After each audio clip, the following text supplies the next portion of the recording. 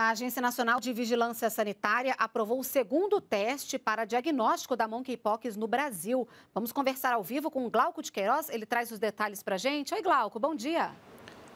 Bom dia, Renata. Bom dia a todos. É isso, né? O novo produto registrado, ele é fabricado pela Fiocruz e detecta o vírus da varíola dos macacos, inclusive a cepa conhecida como África Ocidental. Né? A identificação é feita a partir da amostra né, de, de material coletado das lesões né, de pacientes com sintomas. E o registro foi publicado na segunda-feira após uma análise né, técnica de requisitos técnicos como desempenho clínico e ainda o gerenciamento de risco. Esses processos, né, Renata, de avaliação dos testes para detecção da monkeypox, eles estão, são tratados dentro da Anvisa como prioridade. Né? Neste caso, levou 46 dias, incluindo o tempo necessário né, para eh, os técnicos da Fiocruz atenderem os requisitos eh, da Anvisa. Agora, cabe à empresa que solicitou o registro disponibilizar o produto no mercado. Né? De acordo com a Anvisa, o diagnóstico preciso né, da doença é importante né, para a gestão né, da compra de vacinas vacinas,